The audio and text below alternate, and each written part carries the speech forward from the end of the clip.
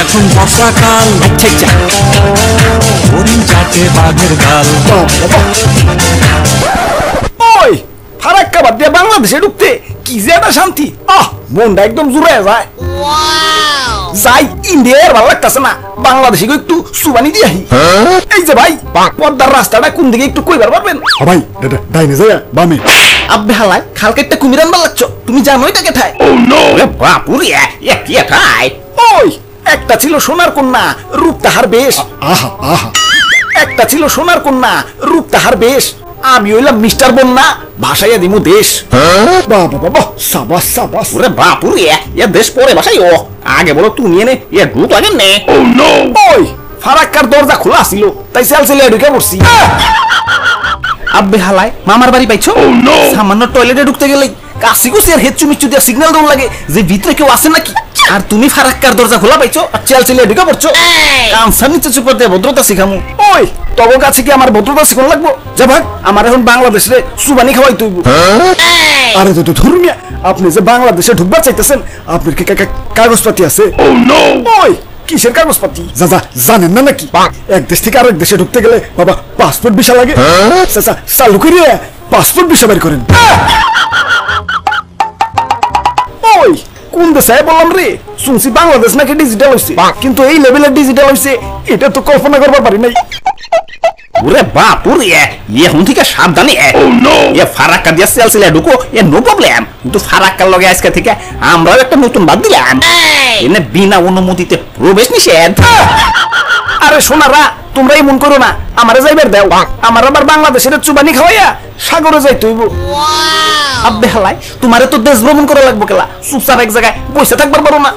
হিমালয়ে তো আমি বরফেই থাকবার চাই কিন্তু গরমের ঠেলায় বরফে থাকুনের উপায় নাই। কেলা শুইলে তো গরম কেলা। সারাদিন কি সানিলনের নাচ দেখো নাকি? ওই এটা সানির গরম না এটা সানের গরম। মানে সূর্য। যাই হোক আজকে তোমার গেট পাস দেন যাব না। আরে শোনারা তোমরা কি জানো না বাংলাদেশের লাগে বন্যা কতটা গুরুত্বপূর্ণ? বন্যা যদি না হয় তাহলে তোমাকে ফসলের ক্ষেত মেত আর উর্বর হইব না। আর এদিকে নদী নালায় ও মাছ তো দূরের কথা মাছের আইসটাও পাইবা না। হোক তা অবশ্য ঠিক বন্যার দরকার তো আছি মাগার একটু সিস্টেম করে বন্যা এবার পারো না। চৈত্র মাসে পানির সংকটে টয়লেটে বদনার পানি থাকে না। আর বর্ষাকালে পানির ঠেলায় বাথরুম শুদ্ধ বাসায় লয়ে যায়। কি যে একটা যন্ত্রণা। ঠিক কইছেন ভাই ঠিক কইছেন। ওরে বাপুরে এ বন্যার যন্ত্রণাই এ জীবনটা মোর তেনা তেনা ইয়ে গেলে। আচ্ছা আচ্ছা। ওই শোনারা বাই কইছি আমার যাইবার দাও আমার আবার দেশ ভাষাই তৈব। তোমারে যেতে দিতে পারি কিন্তু আমাকে কিছু এ শর্ত আছে। কয়ে ফেলাও সব শর্ত মানতে রাজি। আচ্ছা আচ্ছা শর্ত নাম্বার এক ফারাক্কার গেট খোলা পাইলেও সেল সেলে না ঢুকিয়ে কম কম করে পানি ঢুকবা। শর্ত নাম্বার দুই আমাকে নদী নালা দিয়ে কসব গতিতে যাতায়াত করবা। বুঝই তো যত গতি তত ক্ষতি। শর্ত নাম্বার তিন যতই বন্যা হোক মাগার খেলার মাঠে পানি ঢুকুন যাব না। নইলে আবার আমরা মাঠে বসে বসে পাবজি ফ্রি ফায়ার খেলবার পারব না।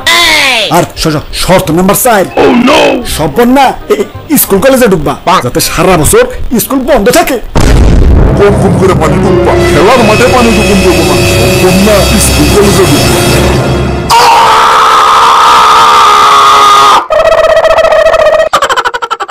হাই ব্রোস কে অবস্থা? সত্যি আশা করি সত্যি ভালো আছো? তো আজকের ভিডিওটা কেমন হচ্ছে কমেন্টে ফেলো ব্লগে একটা লাইকও দিয়ে দিও কিপটা মিমি টাইম করো না। আবারও দেখাবো না কোনো ভিডিওতে। সে পর্যন্ত ভালো থাকো। ওকে বাই তুই তো ভাইয়া একটা নৌকা রেডি করো তো পিকনিকে যাব। ধর্মিয়া